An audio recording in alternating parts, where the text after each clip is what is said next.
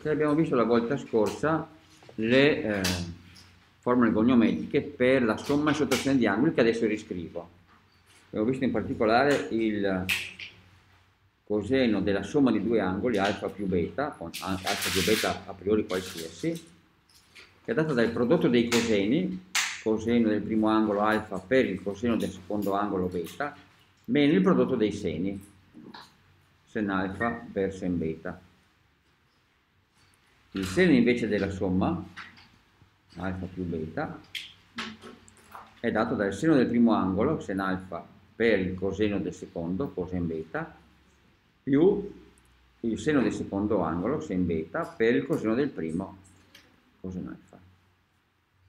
La tangente di alfa più beta è una frazione dove al numeratore ho la somma delle tangenti, tangente di alfa più la tangente di beta, e al denominatore ho 1, in questo caso meno, il prodotto delle tangenti la tangente di alfa per la tangente di beta. Ok, questo è il primo set di relazioni che è quello relativo alla somma. La differenza è molto simile a questo, basta cambiare il segno di beta. Il coseno di alfa meno beta è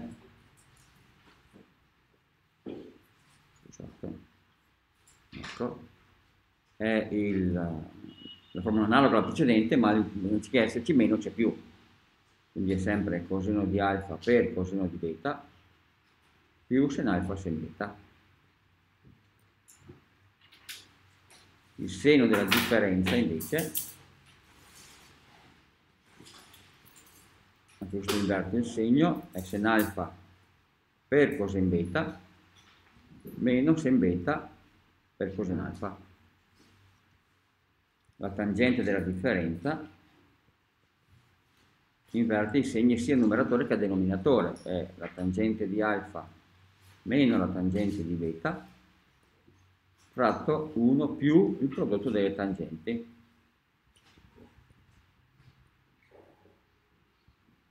Ecco, questo è tutto quello che ci serve.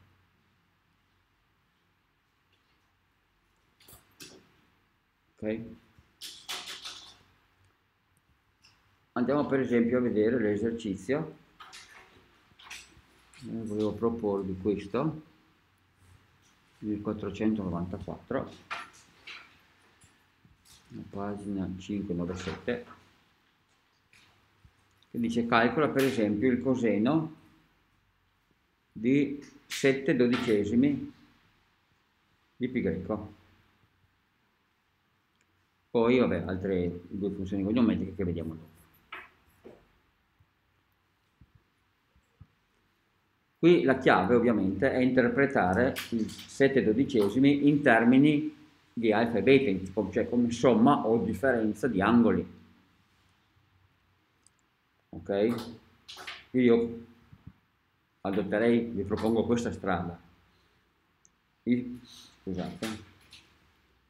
7 dodicesimi di pi greco, possiamo pensarlo come a un 7 che sia un 4 più 3 dodicesimi di pi greco. Per cui abbiamo 4 dodicesimi di pi greco più 3 dodicesimi di pi greco. E quindi 4 dodicesimi è pi greco terzi e 3 dodicesimi è pi greco quarti.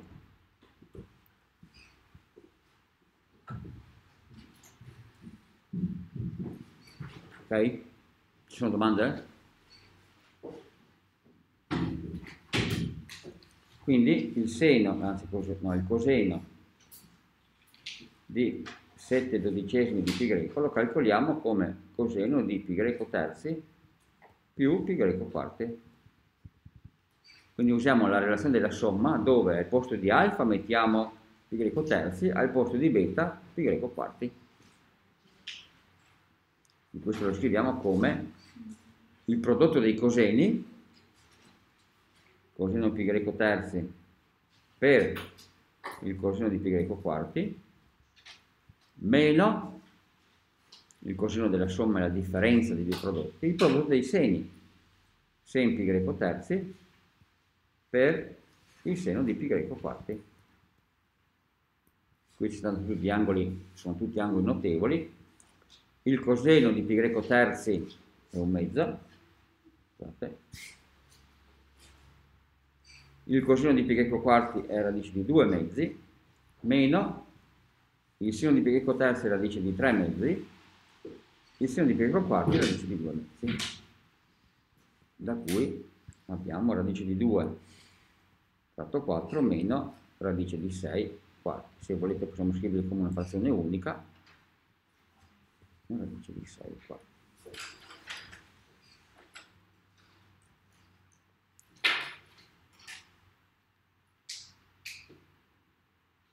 Ok? Ci sono domande? Poi l'esercizio continua proponendo, questa è se volete la parte A dell'esercizio, parte iniziale, che poi c'è nel quesito B, dice, fatemi il seno di 13 dodicesimi pi greco. Seno coseno? Seno. Calcola il seno di 13 dodicesimi di pi greco.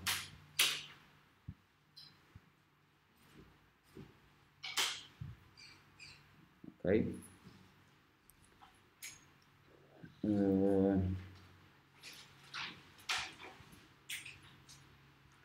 cosa possiamo fare? Beh, anche qui ragioniamo in termini di somma o differenza di angoli.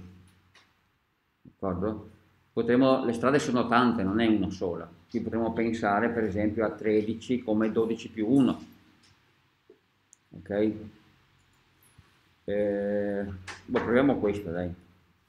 Immaginiamo 13 dodicesimi di pi greco come 12 più 1 fratto 12 pi greco. Ora il 12 diviso 12 da 1, quindi da un pi greco, più pi greco dodicesimi.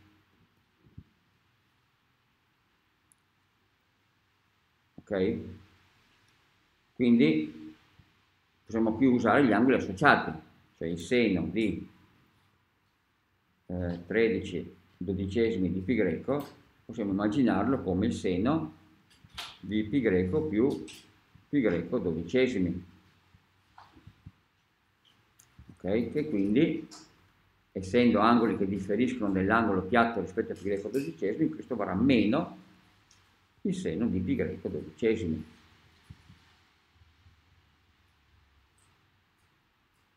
D'accordo?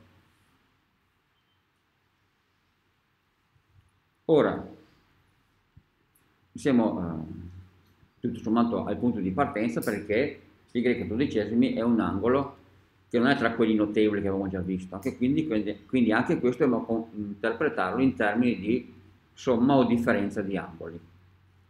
Beh, sarebbe utile avere un numeratore, qui abbiamo, fatemi riscrivere qua sotto, quindi adesso siamo ricondotti a calcolare questo numero. Pi greco dodicesimi, o meglio ancora un dodicesimo di pi greco, possiamo immaginarlo come in questo caso una differenza di due angoli, scegliendo tra due numeri che siano dei sottomultipli di 12, di 12 cioè per i quali possiamo fare una semplificazione. Io direi il 4 e il 3. Quindi possiamo pensarlo come 4 meno 3 dodicesimi di pi greco. Un po' come prima abbiamo fatto col pi greco, col 7 dodicesimi, 7 era 4 più 3, 1 posso pensarlo come 4 meno 3. Perché proprio 4 e 3? Perché 4 e 3 sono sottomultipli semplici di 12.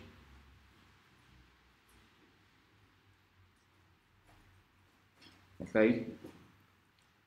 Potevo anche prendere, che ne so, potevo prendere eh, 5 e, e 6, cioè 6 meno 5. In teoria sì, in pratica no, non sarebbe stato utile perché 5 non è sottomultiplo di 12. 6 sì, ma 5 no. Quindi non mi sarebbe stato di grande aiuto. In questo caso invece riesco a venire fuori. Quindi questo lo interpreto come 4 dodicesimi di pi greco meno 3 dodicesimi di pi greco, cioè eh, 4 dodicesimi mi rimane pi greco terzi, meno 3 dodicesimi pi greco quarti. Ok? E quindi sono ricondotto, ripeto, a calcolare il seno di, possiamo perdere per adesso il segno meno, pi greco dodicesimi, lo penso come il seno di pi greco terzi meno pi greco quarti. Ho il seno della differenza, quindi il seno del primo per il coseno del secondo, quindi il seno di pi greco terzi per il coseno di pi greco quarti, meno il seno di pi greco quarti per il coseno di pi greco terzi.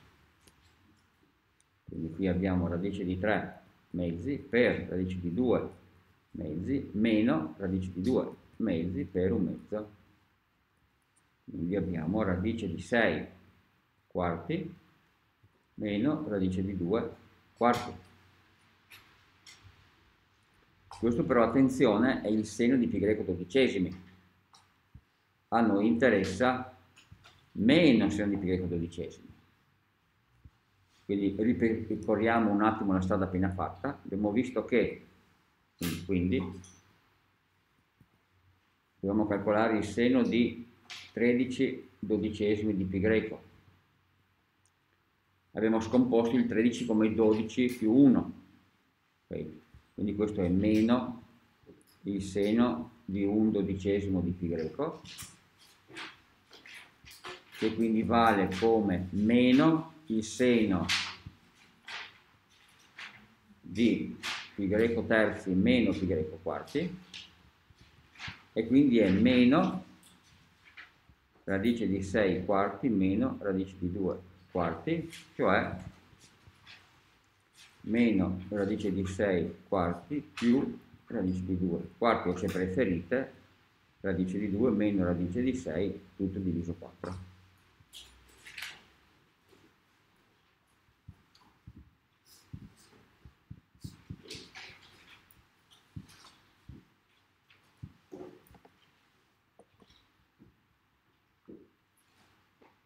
C'è ancora una funzione goniometrica da calcolare, ditemi quando siete pronti. Ci sono domande fin qui?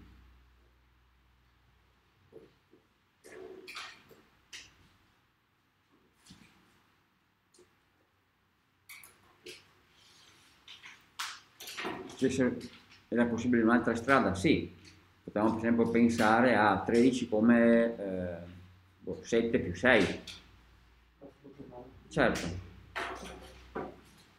Ancora? Non, voglio dire, non, è, non c'è sempre solo una strada, insomma. Alcune sono più semplici di altre, questo sì. Devo trovare una strada che mi permette di utilizzare degli angoli notevoli che conosco, oppure che ho calcolato in precedenza. Differente. Vedremo anche l'ultima parte, la parte C dell'esercizio che chiedeva la tangente di 7 dodicesimi. Allora, quanto vale la tangente di 7 dodicesimi di pi greco? Beh, qui in realtà il percorso è abbastanza semplice, come abbiamo fatto prima. Abbiamo già utilizzato 7 dodicesimi nella parte A, era questa, eccola qua. Quindi 7 tredicesimi possiamo interpretarla come pi greco terzi più pi greco quarti, l'abbiamo appena visto. Non serve rifarlo, no? Quindi la tangente di 7 dodicesimi di pi greco vale quanto la tangente di pi greco terzi più pi greco quarti. Qui ho la tangente della somma di due angoli, quindi questa sarà una frazione dove al numeratore ho la somma delle due tangenti, quindi la tangente di greco terzi più la tangente di greco quarti. E al denominatore ho 1 meno il prodotto delle due tangenti, quindi la tangente di greco terzi per una tangente di greco quarti.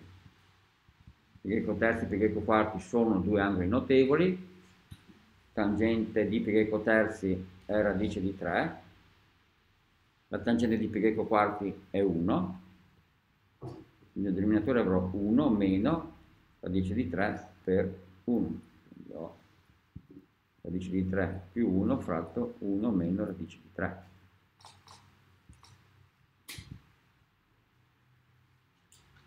Ora il, uh,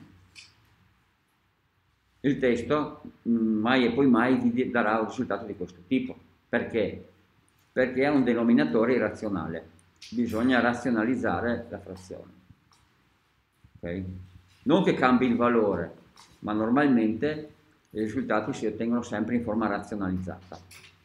Quindi partiamo da questa espressione radice di 3 più 1, fratto 1 meno radice di 3 e razionalizziamo.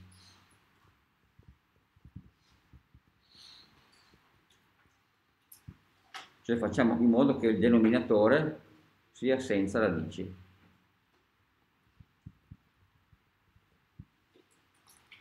Per fare questo usiamo una strategia semplice che abbiamo già visto all'epoca in cui abbiamo studiato i radicali.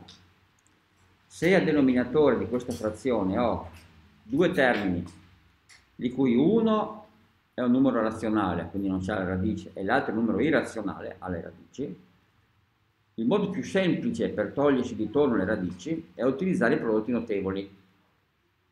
Se qui ho una differenza, primo termine meno il secondo, per fare in modo che la radice sparisca dovrei fare in modo che questo poi venga elevato al quadrato. Per cui sfrutto il prodotto notevole a più b per A meno B che mi darà A alla seconda meno B alla seconda. Nel caso nostro A vale 1 e radice di 3 è B. Per cui dopo a destra avrò 1 alla seconda che fa 1 meno radice di 3 alla seconda che fa 3. Però non posso alterare il valore della frazione. Quindi se per avere questa espressione, quindi senza radice, mi serve questo fattore, quindi qui la differenza, devo moltiplicare per la somma, fatemelo scrivere qua sotto, il denominatore ho 1 meno radice di 3 e sopra c'è radice di 3 più 1, devo moltiplicare il denominatore per 1 più radice di 3, però devo farlo anche sopra, perché altrimenti cambio il valore della frazione. Invece la proprietà invariantiva delle frazioni mi dice guarda puoi moltiplicare o dividere il numeratore e il denominatore per lo stesso numero e il risultato della frazione è lo stesso. Quindi facendo così, ripeto, a denominatore mi ritrovo con 1 meno radice di 3 per 1 più radice di 3 che poi mi darà il quadrato del primo che è 1 meno il quadrato del secondo che è 3. Quindi la radice va via. Al numeratore ho radice di 3 più 1 per 1 più radice di 3, cioè 1 più radice di 3 alla seconda. Al denominatore 1 meno 3 fa meno 2, e al numeratore ho il quadrato del primo, 1, più il doppio prodotto, 2 radice di 3, più il quadrato del secondo che è 3. Quindi per gli amici 3 più 1 che fa 4 più 2 radice di 3. Tutto fratto meno 2. Ora al numeratore abbiamo 4 e 2 radici di 3, entrambi multipli di 2, quindi posso raccogliere un 2. 2 più radice di 3, fratto meno 2. 2 fratto meno 2 fa meno 1, quindi ho meno 2 meno radice di 3.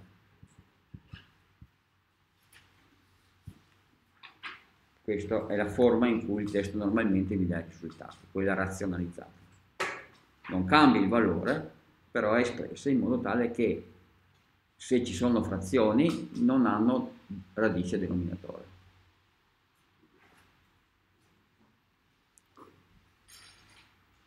Ditemi se è tutto chiaro. Quindi bisogna un pochettino riesumare quanto abbiamo visto l'anno scorso sui radicali per utilizzare la tecnica di razionalizzazione. Perché? Perché se non lo fate, quando fate un esercizio e andate a vedere il risultato sul libro, non vi verrà mai uguale, anche se l'esercizio è corretto. ok? Ma il risultato, è, il risultato è diverso, se, cioè se io mi fermo qui, dov'è? Se io mi fermassi qui e vado a vedere cosa dice il libro, il libro non mi dirà mai questo. Quindi avrò l'impressione che il risultato sia sbagliato, invece in realtà non è sbagliato, solo che non è razionalizzato. D'accordo? È tutto chiaro? Proviamo a? Certo. Proviamo a cambiare tipo di esercizio. Se questo non crea problemi, immaginiamo di fare. Vediamo se fatemi un po' filmare. Ecco. Proviamo questo. Semplificare l'espressione. Prendiamo questa per esempio. L'esercizio eh, 499 la pagina 597 dice semplifica questa espressione. Il seno di parentesi pi greco terzi più x dove x è un angolo ignoto più il coseno di pi greco sesti più x.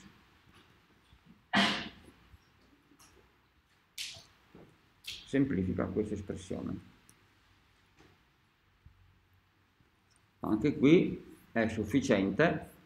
Scusate, applicare le due relazioni che abbiamo visto prima, il, la somma, il seno della somma e il coseno della somma di due angoli. Qui al posto di alfa o pi greco terzo, al posto di beta o x, poco importa come si chiama l'angolo, e quindi ci verrà un'espressione finale probabilmente che conterà o il seno o il coseno di x. Ok? Vediamo di semplificarla. Allora, dalla prima seno della somma abbiamo seno del primo per coseno del secondo più seno del secondo coseno del primo. Quindi abbiamo seno di greco terzi per coseno x più il seno di x per il coseno di greco terzi. Questo viene da qua.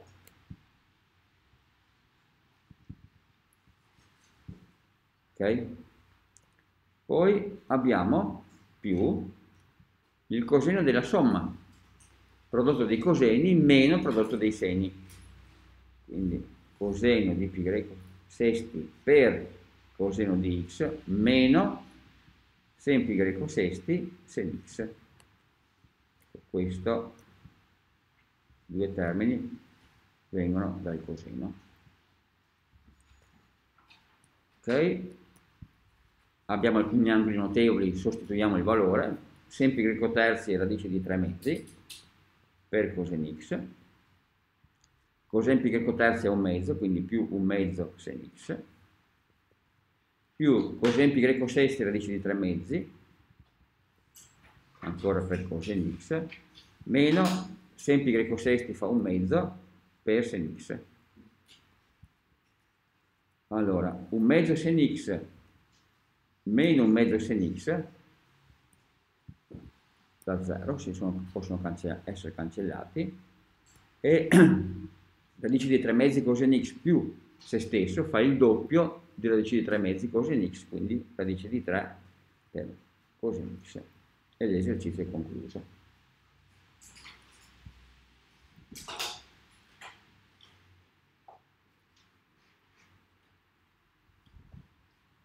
Tutto chiaro?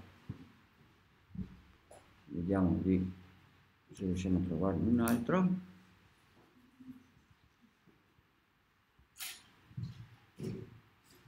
Provare per esempio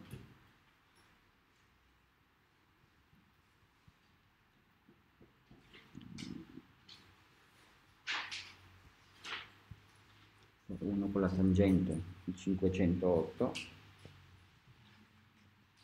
stessa pagina che dice tonda radice di 3 per tangente di alfa meno 1 chiusa tonda per, eh, per la tangente di alfa più pi greco terzi e ancora più radice di 3. Ci chiedono di semplificare questa espressione.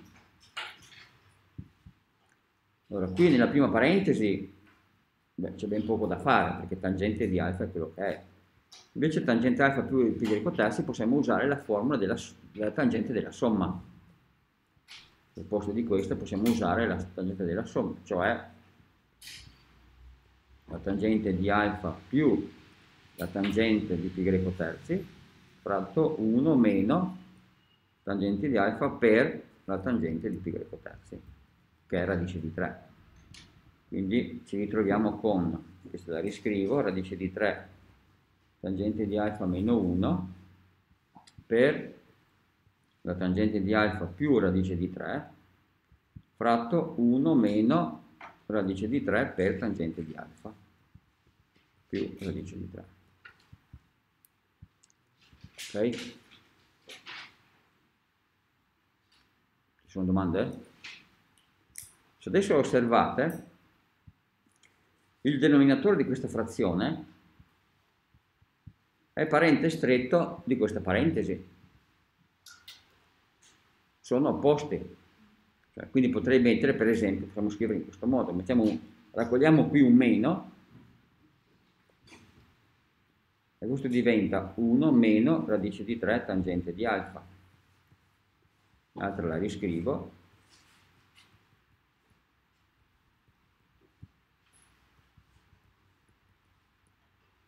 Adesso queste due sono semplificabili.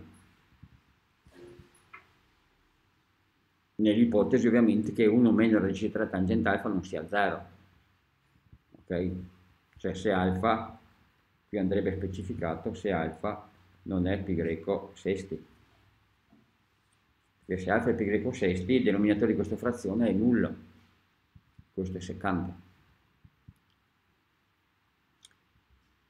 In questa ipotesi, dalla frazione mi rimane solo il numeratore, quindi la tangente di alfa più radice di 3 ok? Con un meno davanti, quindi ho meno qui e meno qui, eh, questo non dobbiamo dimenticarcelo, questo meno, e poi mi rimane più radice di 3. Le due radici vanno via perché sono una opposta all'altra. Morale della favola vale meno tangente di alfa e l'esercizio è concluso.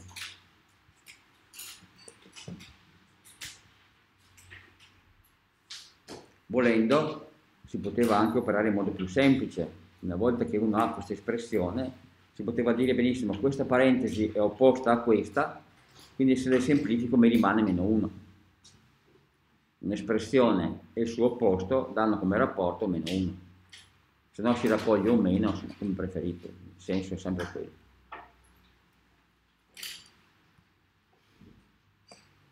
ok? Vediamo se troviamo ancora qualche altro esercizio.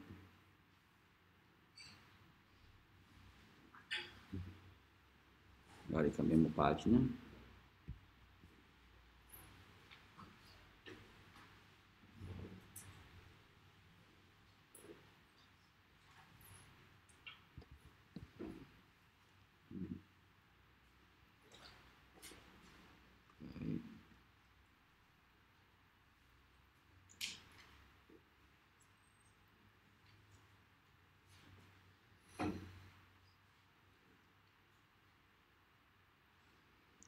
Proviamo anche questo. È molto simile ai precedenti ma dice sapendo che il coseno di alfa vale 3 quinti e che alfa è nel primo quadrante quindi ha tutte le funzioni volumetriche positive troviamo quanto vale il seno di greco terzi meno alfa.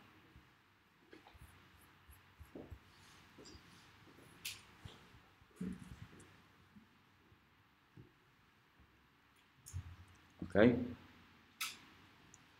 Ora qui abbiamo il segno della differenza, quindi possiamo usare le formule per la differenza, quindi abbiamo il seno di greco terzi meno alfa che possiamo scrivere come il seno di pi greco terzi per il coseno di alfa meno il seno di alfa per il coseno di pi greco terzi, cioè radice di 3 mezzi per coseno alfa meno un mezzo sen alfa.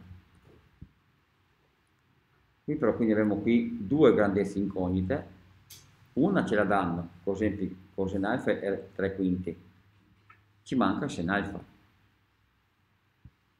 Quindi qui abbiamo coseno alfa che è 3 quinti, dobbiamo determinare il seno di alfa.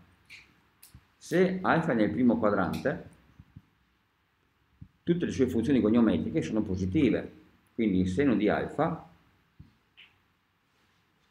possiamo prenderlo come più radice di 1 meno coseno quadro di alfa. Questo più è legato al fatto che siamo nel primo quadrante. Quindi abbiamo la radice quadrata di 1 meno 3 quinti alla seconda. 1 meno 9 25esimi, cioè 4 quinti. 25 meno 9 fa 16, radice di 16, 4, 4 quinti. Di conseguenza la nostra espressione, fatemelo ricopiare, quindi il seno di greco terzi, se non ricordo male, meno alfa, vale radice di 3 mezzi per il coseno di alfa che è 3 quinti, meno un mezzo che è 4 quinti. Per 4 quinti scusate. Quindi 3 volte radice di 3 decimi meno 4 decimi oppure se preferite il denominatore comune è 10 3 radice di 3 meno 4 qui non razionalizzo perché il denominatore non ha le radici quindi me lo tengo così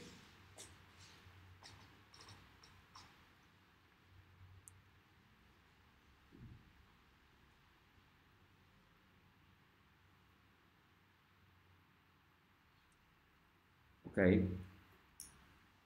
Se ci avessero detto che per esempio alfa è non nel primo quadrante, ma poteva essere nel secondo, domanda. Poteva essere che alfa era nel secondo quadrante? Sì, no, non so.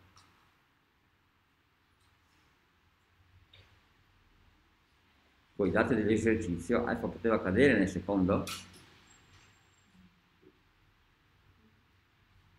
No, perché? Perché nel secondo quadrante il coseno sarebbe stato negativo. Se ho un coseno positivo, l'angolo alfa può cadere in due quadranti, o nel primo o nel quarto. Se cadeva nel quarto quadrante, cioè tra 3 mezzi pi greco e 2 pi greco, allora in quel caso il seno sarebbe stato negativo, quindi qui usavo il meno. Ok? Così come se mi avessero detto che il coseno di alfa è meno 3 quinti, non poteva essere nel primo, poteva essere o nel secondo o nel terzo. Ok? Quindi qui avremmo avuto il segno opposto, quindi avremmo avuto più 4 decimi.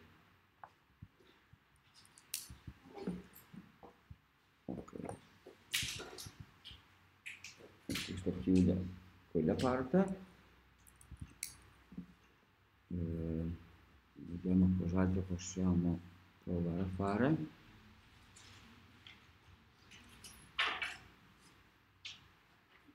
Non riesco a scorrere le pagine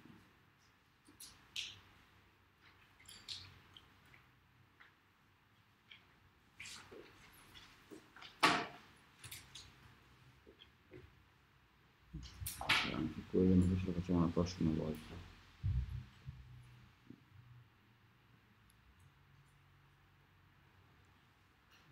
fine dite ma sì dai proviamo questa giusto per cambiare tipo abbiamo il 522 ci dà un triangolo acutangolo dove ci dice che questo angolo si chiama alfa, questo si chiama beta e quest'angolo misura 30 gradi. Ci dice che il coseno di alfa vale un quarto, quindi non è un angolo notevole, e ci chiede di determinare la tangente di beta.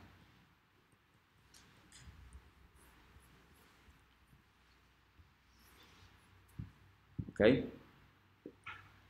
Alfa e beta sono ignoti, vabbè. Sappiamo solo che alfa è un quarto. Qui non ha senso trovarsi alfa, perché alfa non sarà un angolo notevole, quindi se trovo alfa, cerco alfa devo approssimare. È molto meglio usare le forme goniometriche che conosciamo. Questo è 30 gradi. Allora, eh, la tangente di beta, come la troviamo? Beh, ehm, piuttosto piuttosto che pi greco 30 gradi io userei il radiante, mi trovo meglio, è pi greco sesti. Ok? Però sappiamo che alfa più beta più il terzo angolo, che è pi greco sesti, deve fare pi greco, 180 gradi. La somma degli angoli interni di un triangolo è 180 gradi. Okay? Quindi da qui possiamo esprimere beta in funzione del resto. Abbiamo che beta, posso pensarlo come greco, meno pi greco sesti meno alfa. Quindi la tangente di beta la trovo cercando la tangente di pi greco meno pi greco sesti meno alfa. Qui posso raggruppare il segno meno e quindi pensare alla tangente di pi greco meno pi greco sesti più alfa. Ok? E qui posso usare gli angoli associati. Se pi greco sesti più alfa lo penso come un tutt'uno, allora il uh, pi greco meno un angolo ha una tangente che è uguale a meno la tangente di quell'angolo, nel nostro caso pi greco sesti più alfa.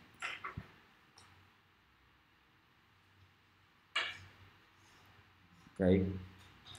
Quindi mi riconduco a calcolare la tangente della somma di due angoli.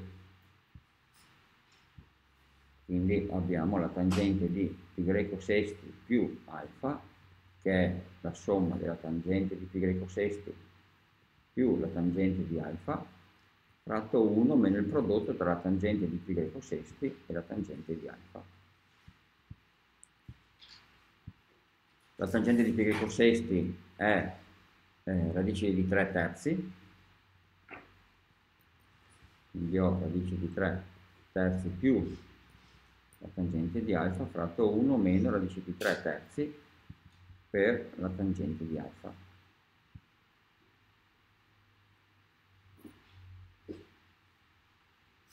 Ok? Però, ultimo punto da trattare, è il fatto che io non conosco la tangente di alfa, conosco solo il coseno di alfa. Ok? Come trovo la tangente se conosco il coseno? Beh, la tangente di alfa è il seno di alfa fratto il coseno di alfa. Se, torniamo un attimo alla figura, ho a che fare solo con angoli acuti, come sembra dalla figura, alfa, essendo un angolo acuto, avrà coseno, seno e tangente tutti e tre positivi. Quindi qui posso prendere il coseno di alfa, lo lascio dov'è, più la radice quadrata di 1 meno il coseno al quadrato di alfa.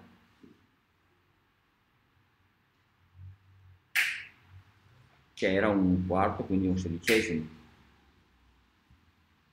Il coseno di alfa so quanto vale, quindi qui ho un quarto denominatore, fatemi controllare che non dico una stupidaggine, sì, un quarto, e al numeratore ho radice quadrata di 1 meno un sedicesimo, quindi avrò un quarto denominatore, qui ho eh, 15 sedicesimi, quindi radice di 15 quarti fratto un quarto, cioè radice di 15. I 2 e un quarto si semplificano. E quindi dove ho la tangente di alfa posso mettere radice di 15. Ok? Di conseguenza, torniamo al nostro problema, la tangente di beta, che era quello che ci chiedevano di calcolare, che vale meno la tangente di pi greco sesti più alfa, che vale quindi meno quello che avevamo trovato, radice di 3 terzi, più la tangente di alfa che è radice di 15, fratto 1 meno radice di 3 terzi per radice di 15. Vediamo adesso come riusciamo a semplificare questa espressione. Qui abbiamo, eh, possiamo fare qualcosa al denominatore, di 3 terzi più radice di 15, le due radici possiamo metterle insieme. 15 è 5 per 3, quindi avremo 3 per 3 per 5 e il 3 denominatore possiamo portarlo sotto radice, che diventa 9. Eh, fatemi cancellare questo. E il 9 semplifica i 2, 3. Quindi al denominatore mi ritrovo con meno 1 meno radice di 5 e sopra radice di 3 terzi più radice di 15.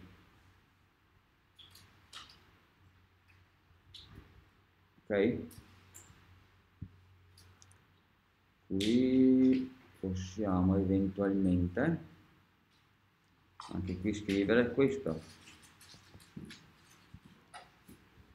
Radice di 3 terzi più radice di 15 posso pensarlo come radice di 3 per radice di 5 quindi radice di 3 posso raccoglierlo a fattore comune. Avrò quindi un terzo più radice di 5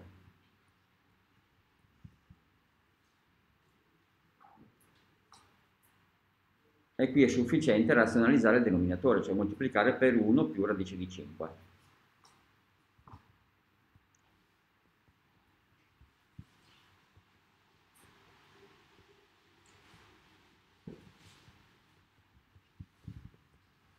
per 1 più radice di 5, 1 più radice di 5. D'accordo? Mi sa che mi fermo qui, lascerò il completo l'esercizio più tardi, vi lascio da completare l'esercizio come esercizio per questa personale. Grazie dell'attenzione alla prossima.